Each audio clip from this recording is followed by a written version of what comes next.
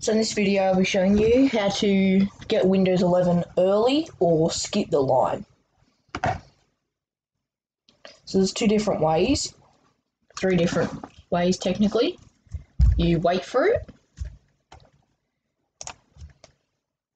in here and you'll see here and it will come up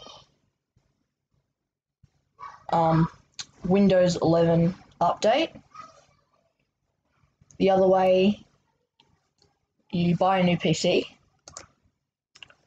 or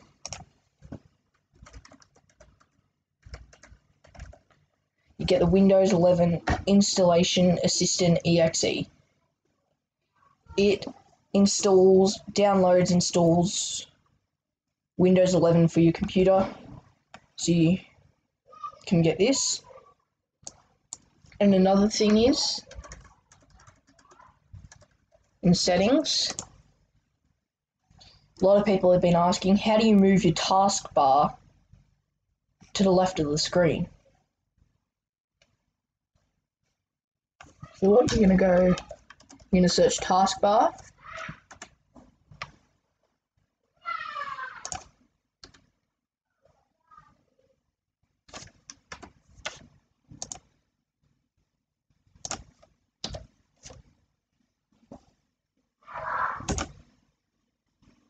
Here. And you can um, see which ones show in the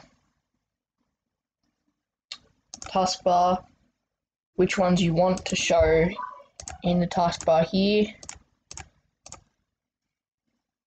And down here you change click this and taskbar alignment you just press and the move, taskbar will move to the left but I prefer it in the center.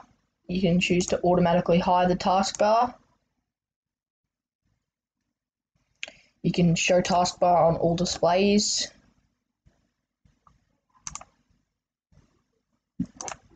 Kind of thing.